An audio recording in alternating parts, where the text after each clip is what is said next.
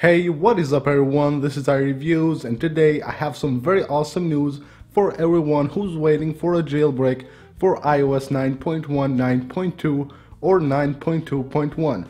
Today Apple has released iOS 9.2.1 to the public. Now what this means for jailbreak is that everyone thinks that TaiG or Pangu are waiting for this firmware to be released to the public and then release a jailbreak.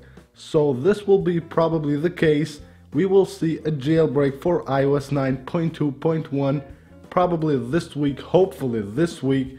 They had a lot of time to work on this jailbreak tool and now that 9.2.1 has been released to the public, we will probably see a jailbreak tool very fast. Also Apple has released 9.3 beta, but I don't believe any of the teams will wait for 9.3 to be out to release a public jailbreak because it will be quite some time before Apple launches 9.3 to the public. It's just on beta 1.1 and it will probably go through 5 or 6 betas until it gets released to the public. So yeah, very exciting news. We have to wait now any day we can see a jailbreak released for iOS 9.1 up to 9.2.1. So if you want to be updated with the latest news, please make sure to subscribe. Also go ahead and follow me on Twitter. You can find the link to my Twitter account in the description of this video.